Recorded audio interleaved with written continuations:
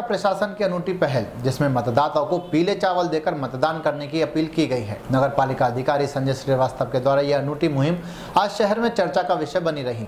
संजय श्रीवास्तव के अनुसार पीले चावल देना हिंदू संस्कृति में शुभ माना जाता है। साथ ही पीले चावल देने का मतलब होता है कि हम आपको आमंत्रित करते हैं। इसी को आगे बढ़ाते हुए पीले चावल लेकर नगर पालिका कर्मचारियों के साथ संजय श्रीवास्तव घर घर पहुंचकर मतदाताओं को 12 मई को मतदान करने के लिए प्रेरित कर रहे हैं।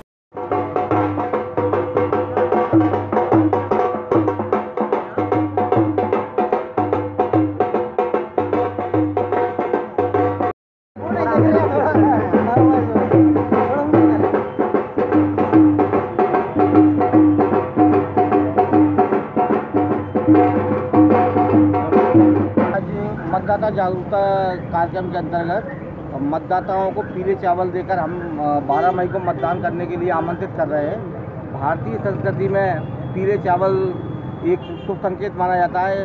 ये माना जाता है कि ये पीले चावल देकर आप अगर आमंत्रित किया है तो वहाँ जाना ही है।